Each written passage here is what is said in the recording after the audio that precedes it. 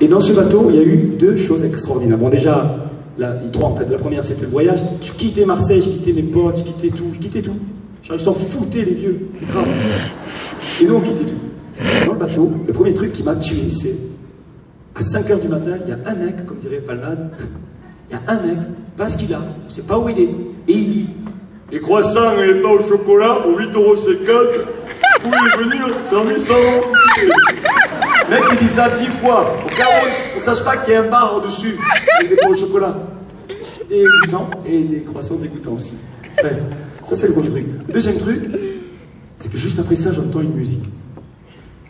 Un truc incroyable. Et je me retourne et je dis à ma mère, mais qui c'est ce garçon qui chante Ma mère je sais pas, je sais pas, c'est magnifique. C'est quoi Qui dit Corsica, mais je sais pas. Et évidemment, arrivé là-bas, j'ai su qui c'était. Ce garçon, c'est Petr Gelfuc. Cette chanson a une tendresse particulière parce que c'est mon voyage.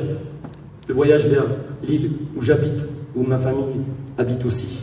Et euh, cette chanson-là, je me devais, euh, en 20 ans de carrière, puisqu'elle fait partie de ces 20 ans-là, de vous la chanter ce soir, et peut-être pas seul.